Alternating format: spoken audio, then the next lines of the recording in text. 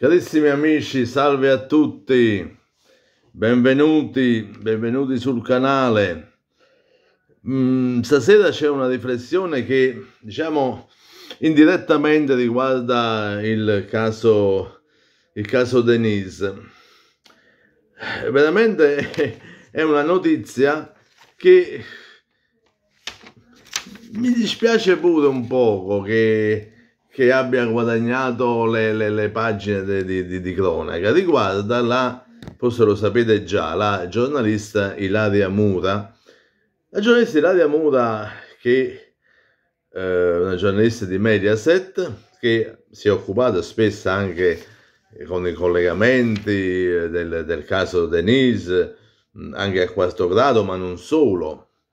Io ho avuto anche modo di conoscere Ilaria Mura, è, è, che è una, è una, della, una giornalista della Sardegna che però mh, ho avuto modo di conoscere eh, personalmente, è una, una grande professionista e la conobbi proprio, proprio qui, diciamo, dove, nella zona dove abito, quando all'epoca ci fu la, la, tragedia della Costa Concordia e quindi vi lascio immaginare comandante Schettini e compagnia bella.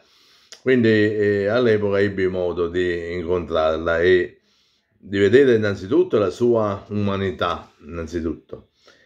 E, e quindi oggi sentire dire che al tribunale di Marsala è, è, si inizia il processo perché eh, per favoreggiamento perché lei avrebbe in una intervista, insomma fatta a Gasperi Galeb, avrebbe praticamente invitato, cioè fatto capire al Galeb di non parlare in macchina perché eh, nella macchina vi, vi erano, vi potevano essere delle microspie messe dalla polizia e quindi, e quindi eh, il reato di favoreggiamento perché lo avrebbe avvisato. Ora, a parte che mi sembra una cosa veramente fuori luogo questo perché parlare di favoreggiamento significa che una persona vuole favorire l'altra persona quindi come, come mai pensare no? che una giornalista che vuole fare proprio una intervista a Gaspare Caleb per cercare di, di prendere qualche, qualche spunto sul fatto di Denise poi lo voglia favorire dicendo attenzione eh, esci dalla macchina, parliamo in disparte perché, perché magari ci sono le microspie. Invece, invece non è così, innanzitutto perché Ilaria Mura non è che poteva sapere se c'erano o non c'erano.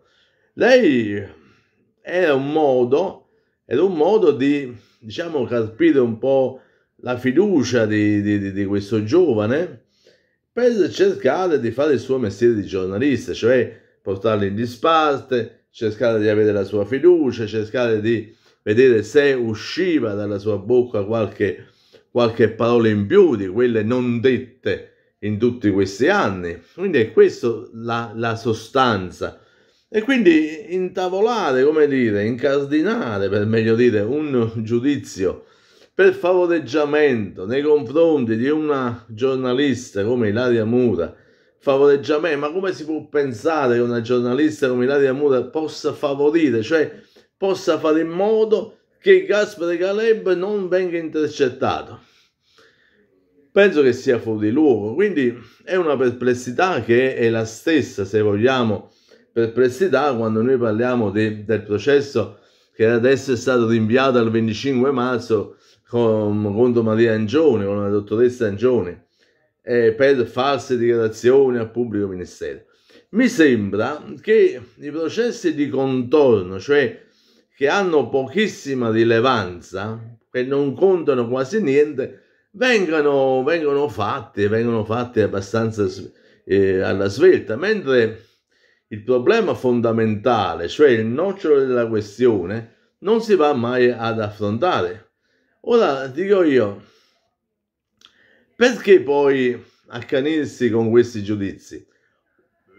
Adesso questa, questo fatto di, del favoreggiamento poi eh, si tratta di una, un'intervista abbastanza recente. Allora io mi chiedo, ma perché in tutti questi anni no, stiamo parlando dal, dal fatidico primo settembre 2004 in cui fu rapita Denise, fino ai giorni nostri, ma perché non avete intercettato prima?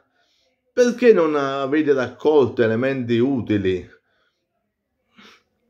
contro questo Gaspare Caleb o contro altri che adesso per un episodio del tutto in buona fede andate ad incardinare un processo? Perché aspettate oggi e non avete fatto ieri, eh, negli anni passati, quello che si sarebbe dovuto fare? E poi, abbiate pazienza, io questo dico, ma delle centinaia, centinaia di intercettazioni, ma perché invece di, di perdere il tempo così non si va a fare il lavoro di sviscerare, di ripulire, di riascoltare tutte le centinaia di intercettazioni. Perché, tornando a Gaspare Caleb, se voi pensate che quella, in quel periodo era importante intercettare in macchina il Galeb, allora perché non vi chiedete perché il Galeb all'epoca, nel 2004, 19 anni, abbia rinnegato la conoscenza con, con la Jessica Pulizzi, ad esempio, no? Abbia rinnegato dopo migliaia e migliaia di telefonate, abbia detto il falso, abbia detto che dormiva quel giorno, che non aveva visto niente. Perché non andate a fondo su questo? Perché, ad esempio, non andate ad intercettare, non so, la, la sorella di Gaspare Caleb, che si è sempre sottratta alle telecamere, eppure c'era una, una macchina, una Ford Fiesta, un una Ford Fiesta uguale a quella che si vide eh, scollazzare per le strade di Mazzara che era intestata a lei, ma come pure i cani molecolari che si fermarono vicino a casa sua, perché non andare a intercettare a lei? Quindi vedete, si attribuiscono dei valori differenti alle varie intercettazioni, per non parlare quelle quelle a carica di, di, di Anna Corona, eccetera. Quindi mi sembra, come dire, ecco, voler, invece di vedere il quadro nel suo insieme, mi sembra che si vogliono vedere dei particolari che, a mio avviso, sono anche del tutto insignificanti. Così lo stesso discorso vale per la dottoressa Angione. Perché quando noi diciamo che ultimamente è emerso il problema delle, delle, delle 4 SIM com, comprate a Terni ed attivate, ed attivate quel primo settembre 2004, sembra che questi sassi non cadono nell'acqua, cadono in un prato deserto, in un deserto proprio. Eppure, eppure tutto ciò sta nelle carte processuali. Nessuno viene a fare una dichiarazione pubblica a dire no, guardate, vi sbagliate perché quelle quattro SIM furono attivate a Terni da un dialer eh, sconosciuto, ma eh, noi sappiamo che poi furono attivate a Mazzara da queste persone, tutte persone per bene, che comunicavano fra di loro e con altre persone per bene, perché abbiamo accertato tutto ciò. Tutto ciò non è avvenuto, non è stato accertato, non sono stati fatti tabulati i tabulati, diciamo, di tutte le persone che in quella data stavano in quella zona.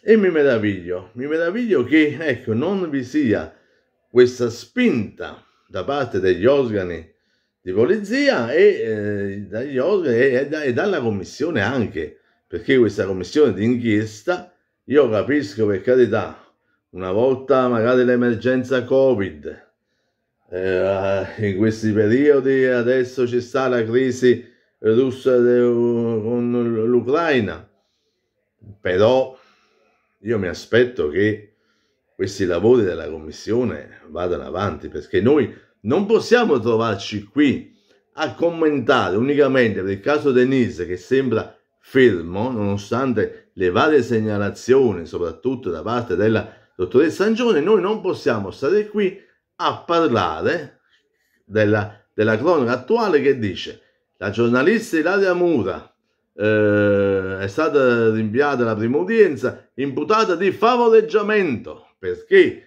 aveva avvisato Gaspare Caleb che potevano esserci, come c'erano poi in effetti, delle cimici di registrazione nella sua macchina.